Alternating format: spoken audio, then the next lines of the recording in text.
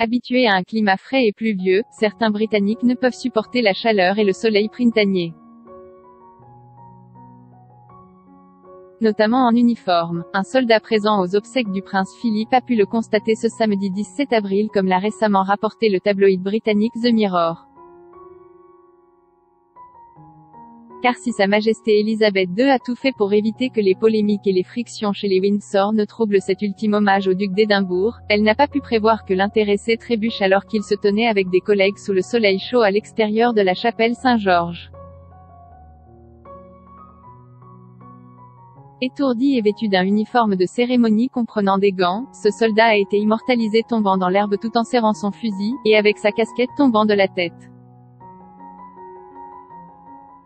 À sa droite, un membre des rifles s'est agrippé à un autre soldat, debout et regardant vers le bas, visiblement impacté par la chaleur de ce samedi 17 avril, mais loin d'être dans la même position que ses collègues.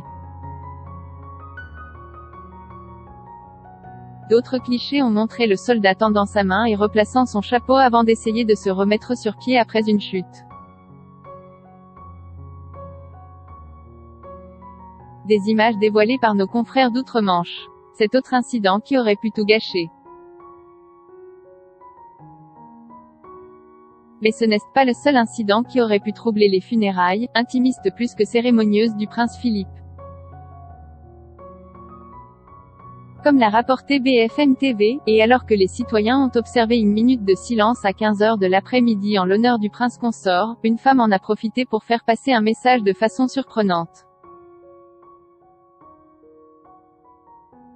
Seins nu, cet anonyme a crié au beau milieu de la route à Windsor, demandant au public de sauver les animaux et la planète. Une protestation impromptue à laquelle les autorités ont rapidement mis fin.